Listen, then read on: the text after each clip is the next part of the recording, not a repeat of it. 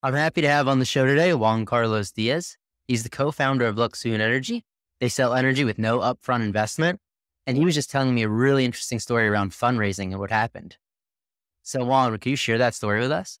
Yeah, perfect, Chad. First of all, thank you for inviting me to the podcast. It's really an honor to be contributing with you guys.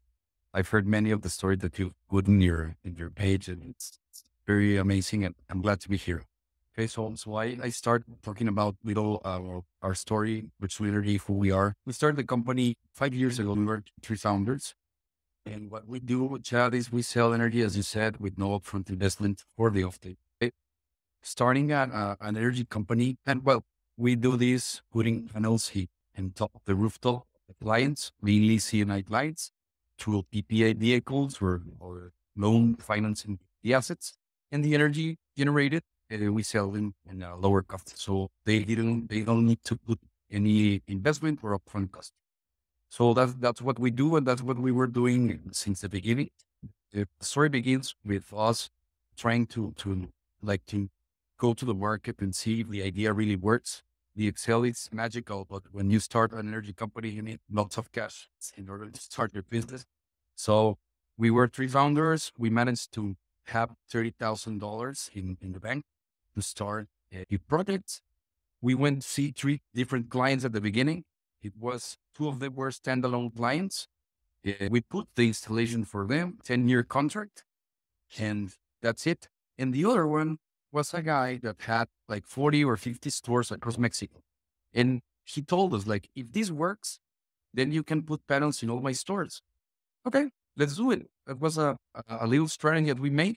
So we put the panels, and a couple of months later, he came to our offices and, and tell, I'm in love with what you're doing. I'm paying cheaper energy, and and I like this transition to new energies, renewable energies. So please put in all my stores. And I remember when when when he said that the amount that we needed of cash to put the the panels, it was like I don't know, like half a million dollars to, to put in all in all these stores, and we didn't have any money. But the best part of it was that we really validated our thesis in our business that there was in fact people willing to change their energy supplier for these young guys putting panels in the roof and selling energy at long-term contract. So that was the first validation that we had. And that was the most important one because we realized that there was a market for this.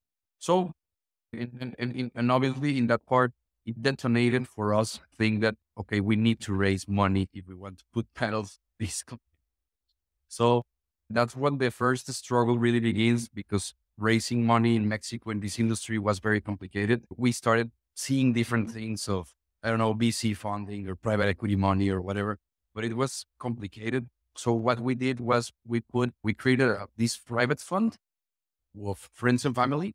We raised money in this fund that was not related to our company.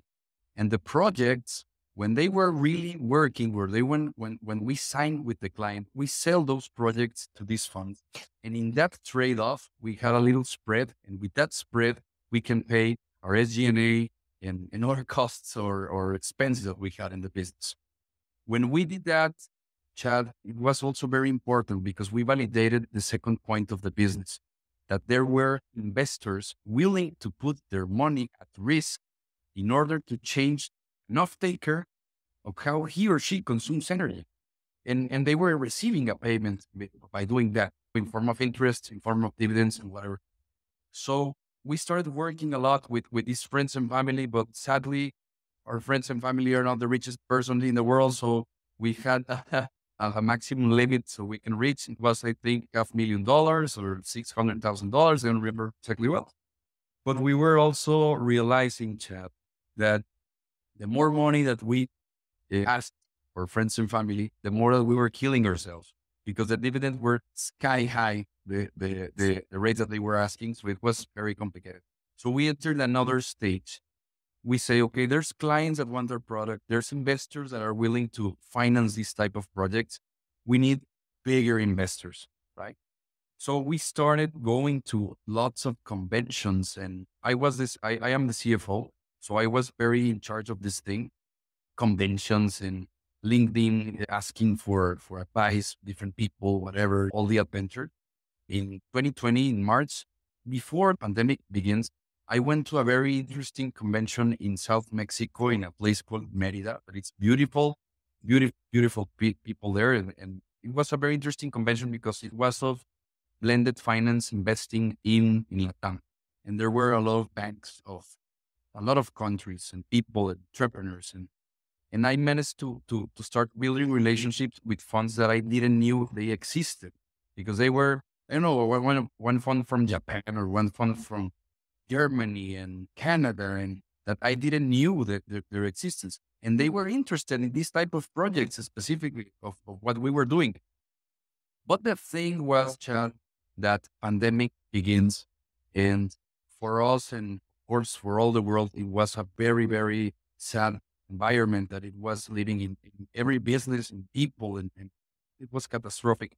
So many deals that we had, they were punished. You know, we, we couldn't land any, any, any of those deals.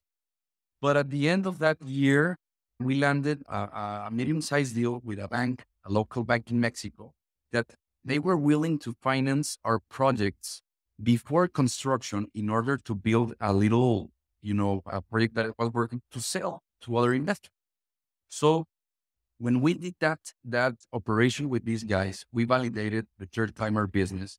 And that was the final validation and the most important one because now you have all your stakeholders completely aligned. For one side, you have your client consuming For other, for other side, you have your your like the buyer of the of the portfolio that is willing to invest that money. The second validation. and The third one was that there was a bank that was willing to lend money in order to, for you, for us to buy the products, put them in the solar installations, and while they're working, sell them to a different investor. And that was the like complete cycle of the validation. On top of it, you have your operation working really well, your commercial team, your finance team, and that was like our, our, our big validation. So when we did that, we started building very big projects in Mexico. We completely expanded our capacities to levels that we didn't imagine in that time. And that was very important because now we could go for international investors and say, look, I just, I, I don't, I just don't have like two installations. I have 50 installations perfectly working and I'm willing to do uh, 10,000 installations. I need more capital. So that's what we we managed to achieve by the end of 2021. And well, the, the rest of the story was like searching for bigger funds in order to, to enter with us. It was complicated because here in Mexico, the regulatory environment was not helping a lot. And, and it was difficult for foreign investors to, to trust Mexico in the energy sector. But it was a challenge like to, to, like to move forward with this.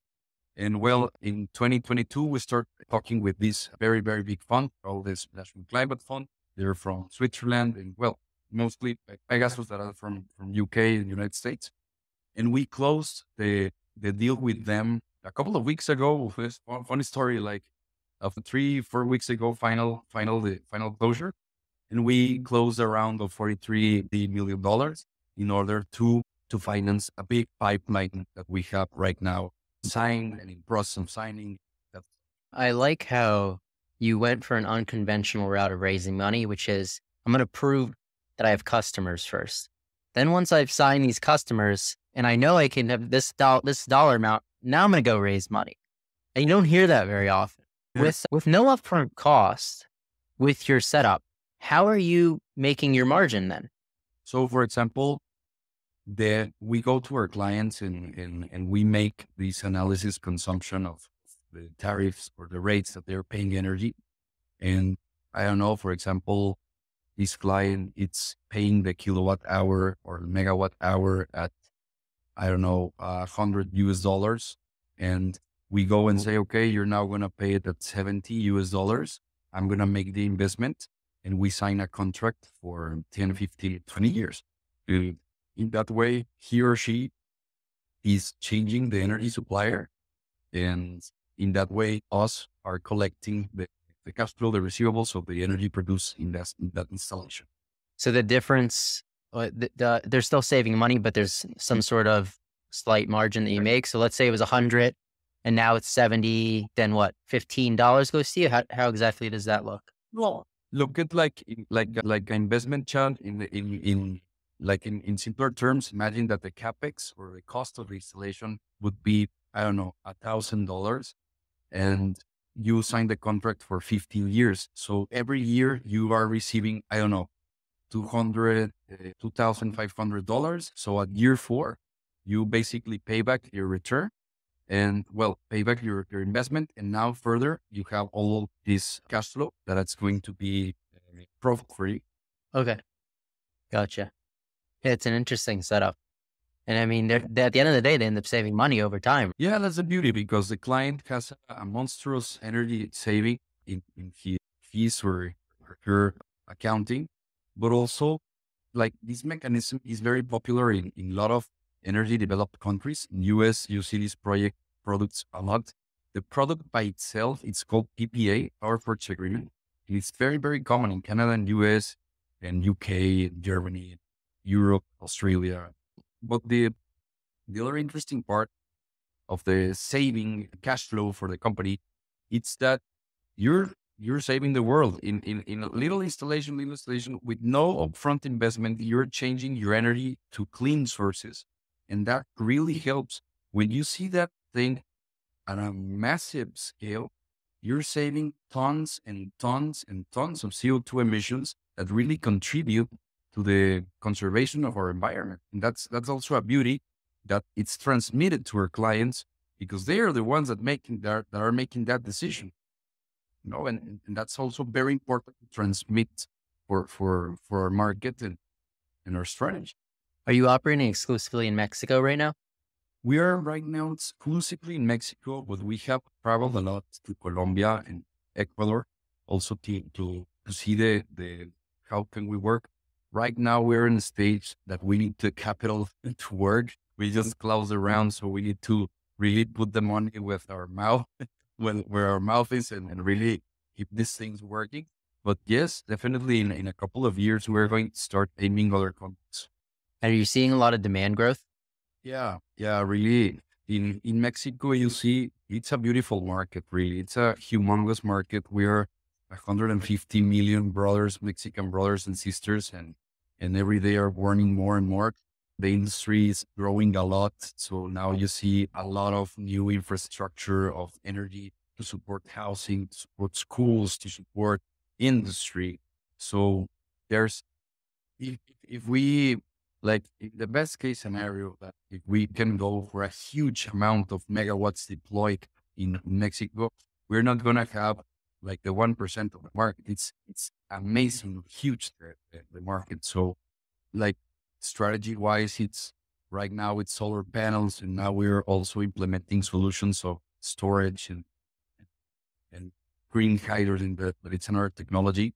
But we were going to try to diversify here in Mexico and then start working with other broader countries in order to help the, the, industries.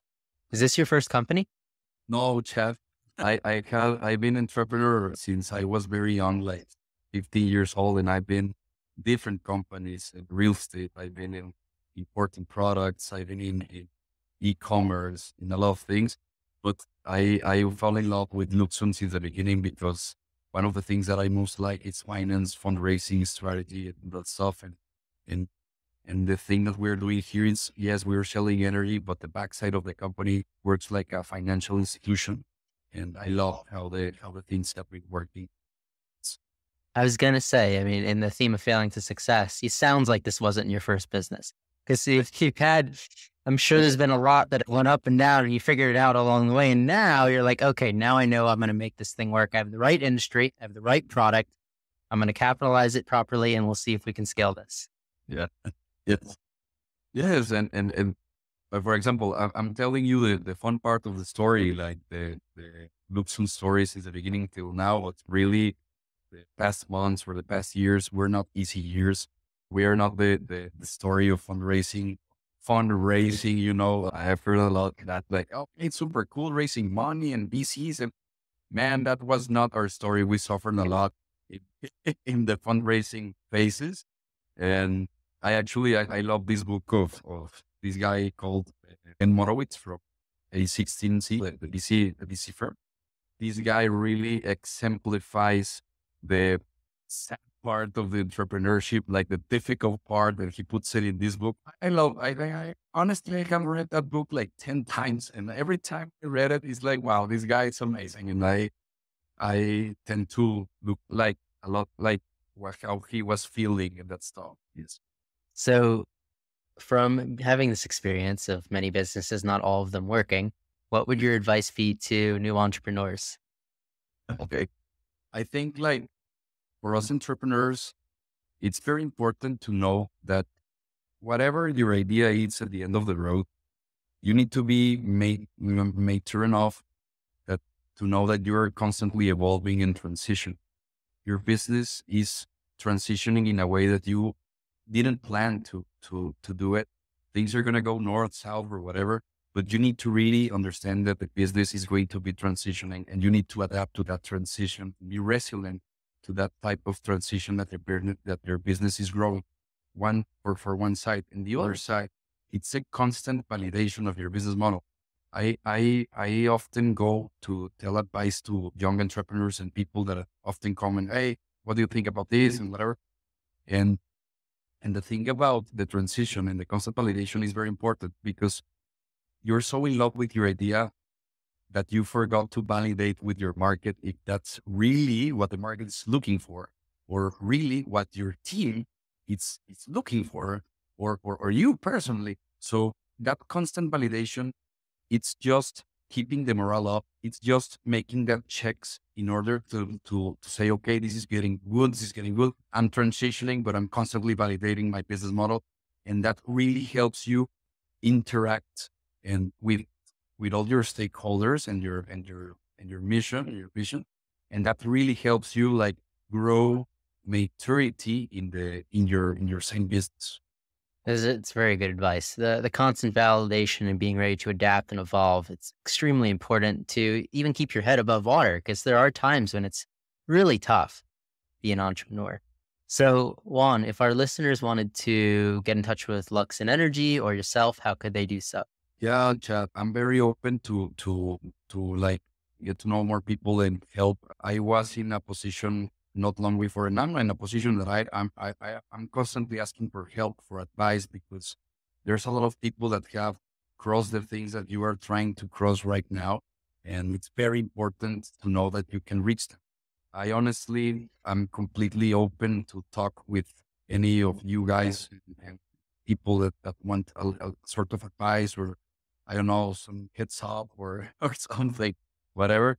I have my LinkedIn, my LinkedIn account, my, my mail. I can give it to you, Chad, so you can put it, I know, in, in this brief description or yeah, or, or I, I think that that will work. Mail or, or LinkedIn, I, I check them often and that I think it will work. Perfect. Well, thank you, Juan, for coming on the show. And thank you, everybody, for listening to another episode of Failing to Success. Make sure to subscribe. I'm your host, Chad Kalecki, and we'll see you next time.